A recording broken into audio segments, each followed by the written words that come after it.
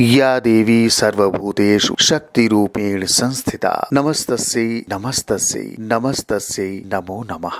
शक्ति की उपासना का पर्व नवरात्र प्रतिपदा से नवमी तक निश्चित नौ तिथि, नौ नक्षत्र, नौ शक्तियों की नवधा भक्ति के साथ सनातन काल से मनाया जा रहा है।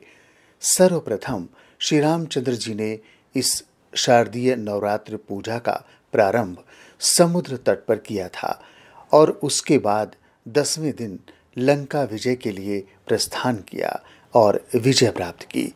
तभी से असत्य अधर्म पर सत्य धर्म की जीत का पर्व दशहरा मनाया जाने लगा।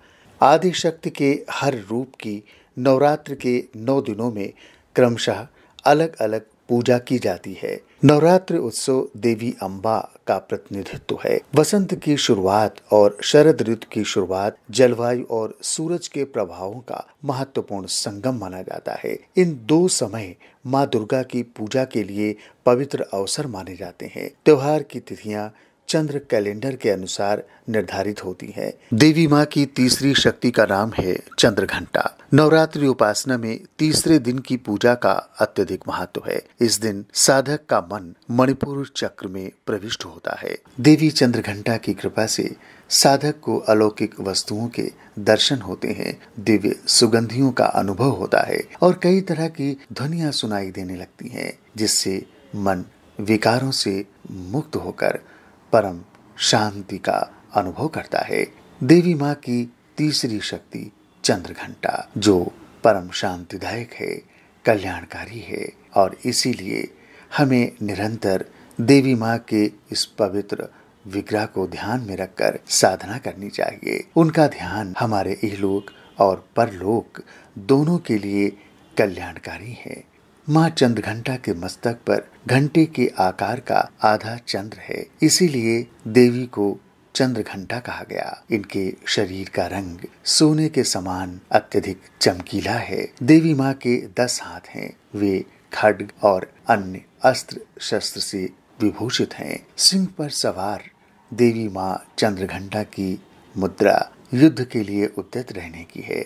इसके घंटे सी भयानक ध्वनि अत्याचारी दानव दैत्य राक्षस, इन सभी दुष्प्रवृत्तियों के लिए अत्यंत भयंकर है और इस ध्वनि को सुनकर वो कंपित होते हैं। प्रेत बाधा आदि से मुक्ति प्रदान करने वाली है। देवी माँ चंद्र घंटा देवी माँ की आराधना से साधक में वीरता और निर्भयता के साथ सौम्यता और विनम्रता का भी विकास होता है। इसीलिए हमें मन, वचन और कर्म के साथ काया को विहित विधि, विधान से परिशुद्ध और पवित्र होकर, माँ चंद्रघंटा की शरणागत होकर उनकी उपासना और आराधना करनी चाहिए माँ चंद्रघंटा की कृपा से साधक के समस्त पाप और बाधाएँ विनिष्ट हो जाती हैं।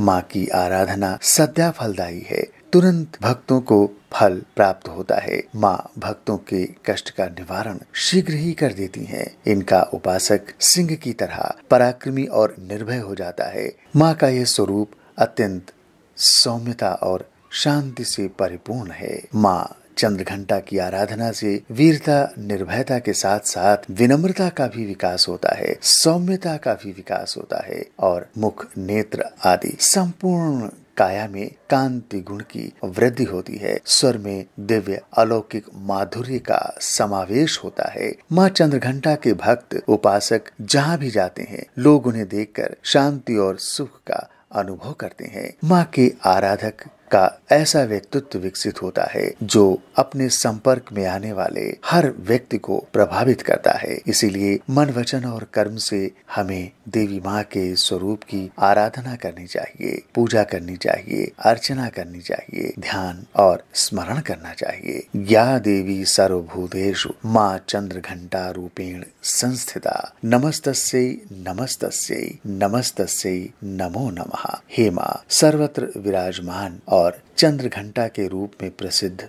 अम्बे आपको मेरा बार बार प्रणाम है। मैं आपको बारंबार नमन करता हूँ। हे माँ मुझे सब पापों से मुक्ति प्रदान करें। अगली कड़ी में हम बात करेंगे देवी माँ के चौथे स्वरूप कुशमांडा देवी की। यदि आपने अभी तक हमारे YouTube चैनल को सब्सक्राइब नहीं किया है तो आपसे अनुरोध है कि हमारे YouTube चैनल को सब्सक्राइब करें, लाइक करें और अपने कमेंट्स भी दें।